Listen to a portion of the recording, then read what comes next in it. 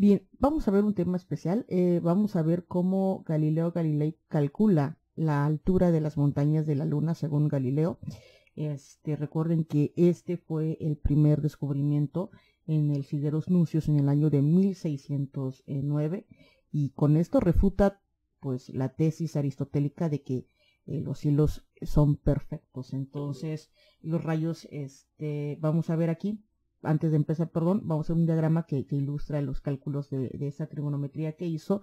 Eh, y obviamente los rayos del sol inciden en paralelas y horizontales sobre la luna desde, la, desde el lado derecho. Entonces, el lado derecho de la luna está iluminado. Supongamos que este va a ser el lado derecho. Vamos a poner el lado derecho que está iluminado.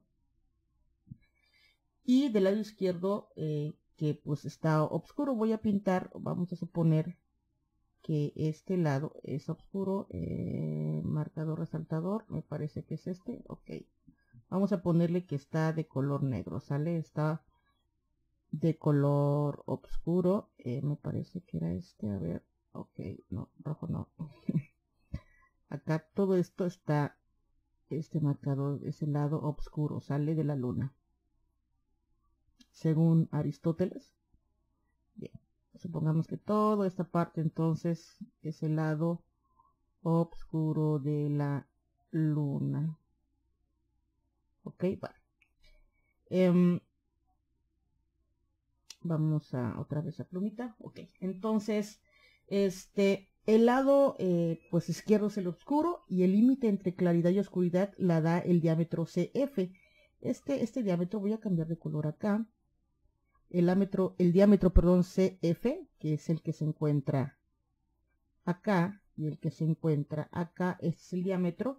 Este, pues es el límite entre la claridad y la oscuridad. Voy a poner aquí CF, es el límite entre la oscuridad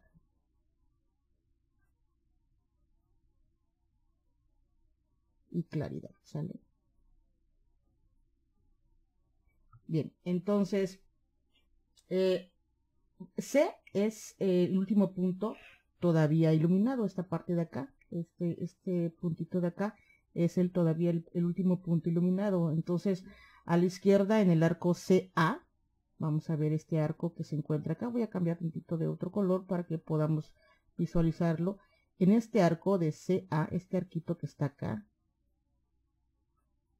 este que está acá, hay todavía oscuridad, ¿sale? Entonces, obviamente con excepción del punto D. En toda esta parte existe oscuridad en esta parte de arco, pero en la parte de, de, del punto D, este, pues todavía esa parte no hay, ¿no? Entonces, em, el punto D todavía va a brillar eh, por ser el pico de las montañas que todavía está alcanzando por el rayo o es alcanzado todavía por el rayo en forma horizontal de CD, o sea, de C a D. Todavía este pico es alcanzado por toda esta, esta partecita es alcanzada por el rayo, ¿no? Entonces de la luz del sol. Y la altura de la montaña va a ser AD. Esta AD, voy a cambiar de color. La altura entonces de la montaña va a ser AD es la altura de la montaña. ¿Sale? Bien. Entonces, em, ¿cómo, aplicó el teorema? Eh, eh, según Galileo Galilei, aplicó el teorema de Pitágoras. Entonces pondría así, aplicación. Vamos a poner aplicación del teorema de Pitágoras.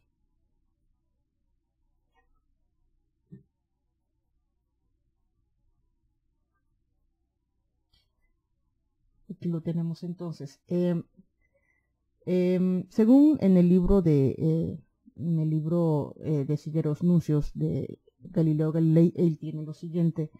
Tenemos el radio ED, ¿sale? ED lo eleva al cuadrado o lo aplica, va a ser igual a el radio de C cuadrada más sería la CE cuadrada. Es decir, ED, em, toda esta parte, todo esto, digamos que es la parte de la hipotenusa, toda esta parte es la parte de la hipotenusa, va a ser igual a DC, a un cateto, por ejemplo, podemos llamar este cateto adyacente, voy a cambiar de color, podríamos llamar este cateto adyacente y esta parte de aquí cateto opuesto, ¿no?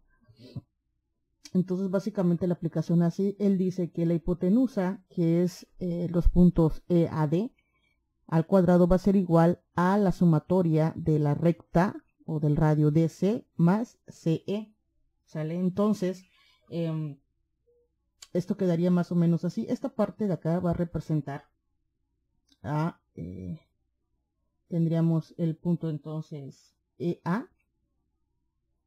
EA más AD al cuadrado. ¿Sale?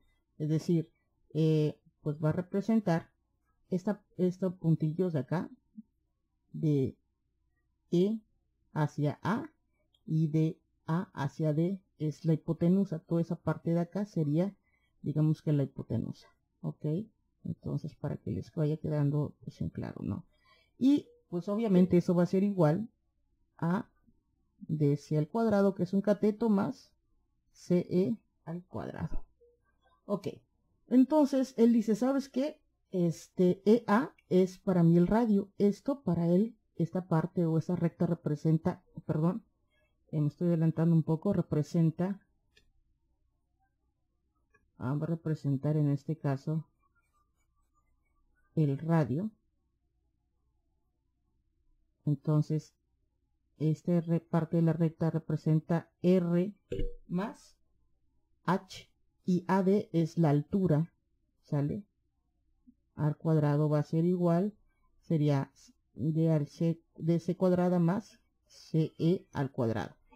Si eh, por medio de teorema de Pitágoras, bueno, nosotros desarrollamos este binomio al cuadrado, tendremos el cuadrado del primer término más el doble producto del primero por el segundo más el cuadrado del segundo término eh, nos va a dar igual ADC al cuadrada más eh, CE, recuerden que CE en este caso es pues el radio cuadrado, ¿sale? Este, esta parte de acá, CE, lo pueden ver ustedes en la imagen, CE, toda esta para acá, va a representar también el radio, ¿sale? Esta y esta representaría en este caso el radio. Entonces, em, si nosotros quisiéramos este, pues desarrollarlo, terminar el desarrollo tendríamos, em, voy a terminar acá, r cuadrada más dos veces la distancia por la altura más la altura al cuadrado menos esta recta al cuadrado menos r cuadrada va a ser igual a cero. Sale entonces para eso tenemos acá r cuadrada con r cuadrada se eliminan y tendríamos el siguiente resultado. Tendríamos dos veces el radio por altura más la altura al cuadrado menos de c cuadrada que es la recta va a ser igual a cero. Entonces, em, pues obviamente en este desarrollo se ha puesto que EA va a ser igual a EC, que es R, que es el radio de la luna, y eh, la altura de la montaña es en la parte eh, de la recta AD que representaría en este caso la altura. Y pues es así como llega eh, Galileo Galilei a la aplicación de cómo poder medir la altura de la montaña según pues sus propias hipótesis sus propias teorías